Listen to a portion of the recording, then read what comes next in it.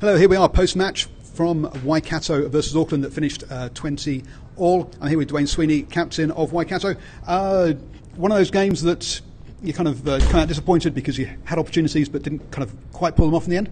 Yeah, yeah, definitely. I think um, you know both teams would have felt like they had a chance to, to win it at the end, but I, I suppose for me we were we I felt that we had the upper hand most of the game. Um, yeah, and it, it, was.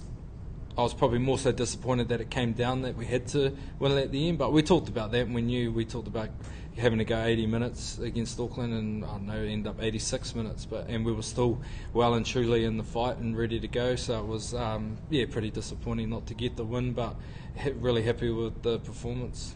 Being back up in the Premiership after uh, after winning the Championship last year, noticing any difference in the kind of uh, is, uh, extra physicality or uh, teams targeting you or anything like that? Um, yeah, I'd, yeah, it's, it's sort of it's it's a bit of a hard one because I just find that this you know our provincial competition in New Zealand is just so strong. Um, yeah, I, I, I, to be honest haven't noticed too much of a difference. Um, because we still we still played Auckland last year. We played Wellington. Um, you know, so they're big physical teams, and um, yeah, it's and to be honest, like anybody could beat anybody on their day.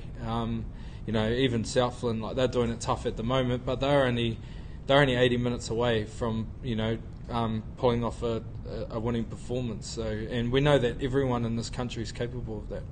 Now, um, at the end of that first half, obviously uh, James Tucker got yellow carded, but uh, and we saw you on the side of the scrum. So how much scrummaging have you? Uh, how much scrummaging practice have you put in this season?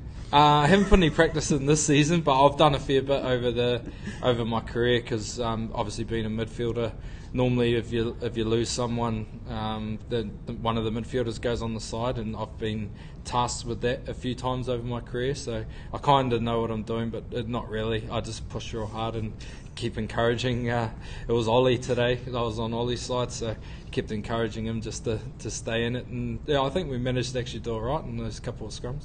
Yeah, yeah, absolutely, yeah, absolutely fine. I was wondering uh, they, they, whether they should put you at seven on the open side because then you can go a bit faster. you could have broken out and, and, and uh, nailed the nailed the fly half. Yeah, yeah, I don't know about that. I'm, i was pretty happy that they didn't run short side because I didn't actually really know what I was going to do.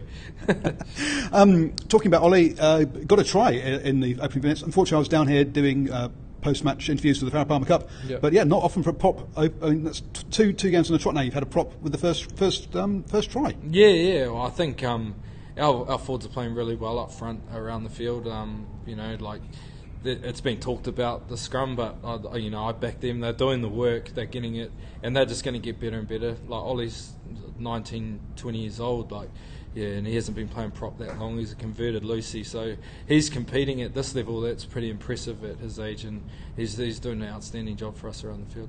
So how does it feel actually now when you got so, so you just said he's he's like 18, 19. You got Rivez Reihana under under under under 19s. Yeah. Um, there's a, there's a few younger guys, and it's uh, as I say you're coming up towards uh, that 100 caps. You've been around a while now, so how does it feel? So it's still putting it to the young guys.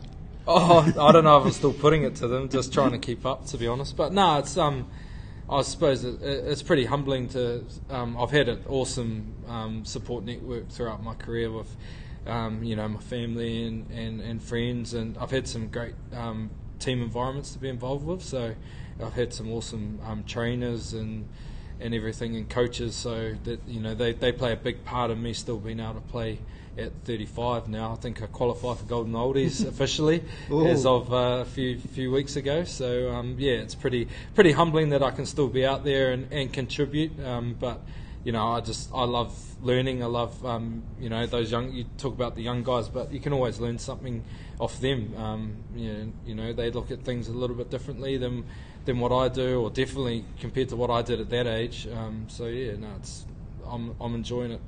Great. Thank you very much for your time, and uh, yeah, many more years of rugby ahead. cool. Thank you. Uh, to get more uh, behind the scenes chats, uh, then click on patreon.com forward slash DrivingMaul in the tweet above uh, and help support the channel. Thank you. Awesome. Thank you much. Thank you.